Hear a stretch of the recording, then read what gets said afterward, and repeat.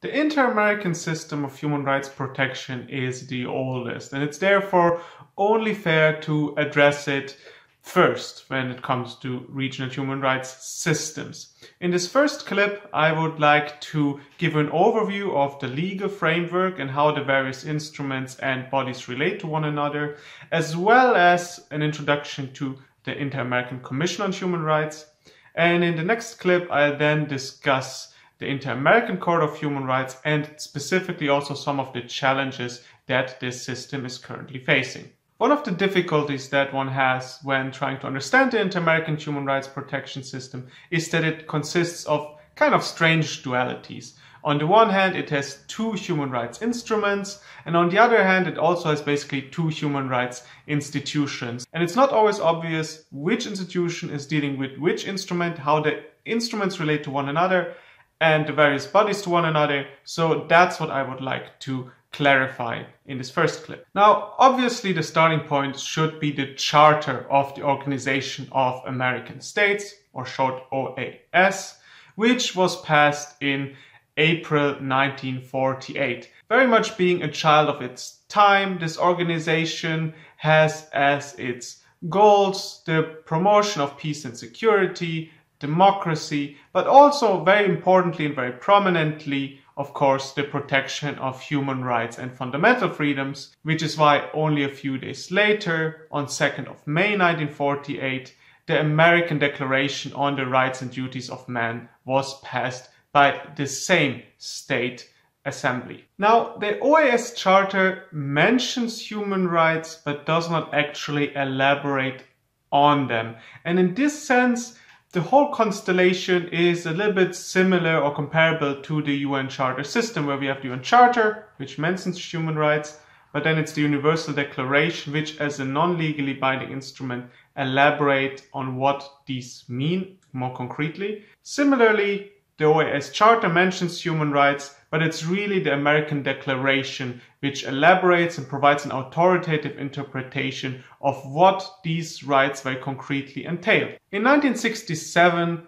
the OAS Charter was amended by the Protocol of Buenos Aires, which is very important because it creates the Inter-American Commission of human rights. At that time, when it was originally created, it was not yet able to receive and review any individual communications. This, of course, changed only two years later with the adoption of the American Convention on Human Rights, which both established the Inter-American Court of Human Rights, to which I'll get to in the next clip, and mandated or expanded the mandate of the Inter-American Commission on Human Rights to most notably also include individual communications. So basically we are faced with the existence of two human rights institutions here and you may very validly ask how do they relate to one another. To put it very simply, the Inter-American Commission on Human Rights receives the individual complaints, reviews them initially and tries to come to a settlement between the state party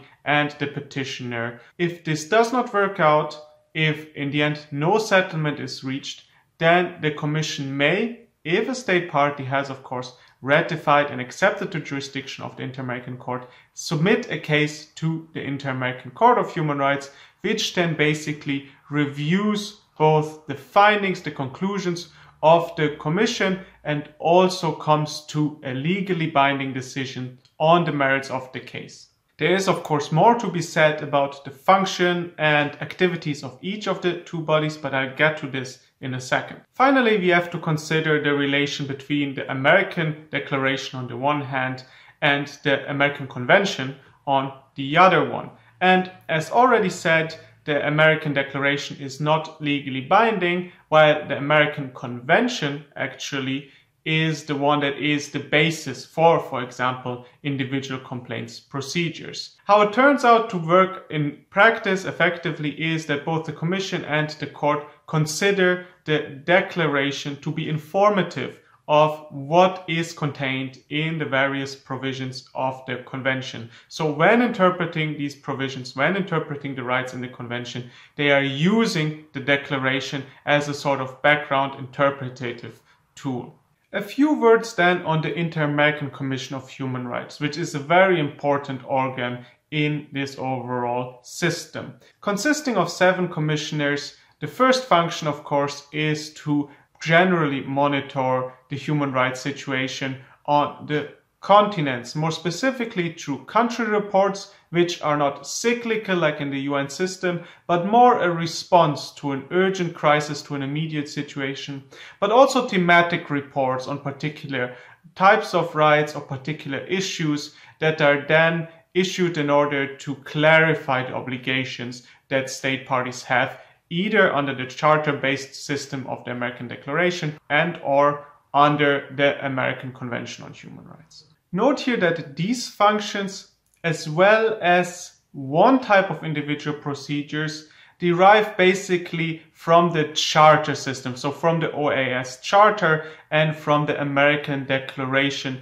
on the Rights and Duties of Man, which is distinct. So the Inter-American Commission plays a somewhat separate or different role under the convention. And this is often a source of confusion, but as long as you remember that the American Convention comes with the Inter-American Court of Human Rights and that cases can therefore be referred to the court, you should be able to understand what the difference between those two is. This then brings us to the function that the Commission plays under the Convention. As already said, it receives and reviews the individual communication that it receives under the ACHR. And on page 433, the textbook quite nicely illustrates the precise procedural steps that are involved in these proceedings. After it has reviewed a communication, it comes to the conclusion whether there has been a violation of the convention and it also adopts recommendations to the state parties on how to respond to this finding. Now, in most cases, compliance will not be immediate and the additional step then will be taken to go before the Inter-American Court of Human Rights. And this, in fact, has been the case since 2001 in all cases, unless the Commission very specifically and for very specific reasons decides not to take this step. But that's very rarely the case. Once the individual communication then reaches the court, the Commission is not totally out of the picture. In fact, it continues to be involved in the proceedings in a so-called ministerio publico capacity, which means that it is basically an amicus curiae of sorts or a party that provides and protects the integrity of the legal system of the Inter-American human rights protection system as a whole. Last but not least, the Inter-American Commission can receive and review interstate complaints, which basically one state party launches against another state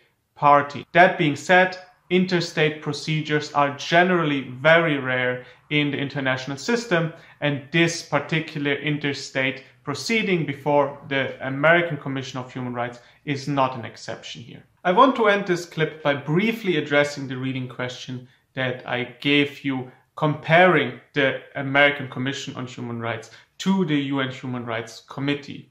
And although there are some differences between the two bodies, they do not mostly relate to the functions, which is what I was interested in in this question. Indeed, the two are relatively comparable.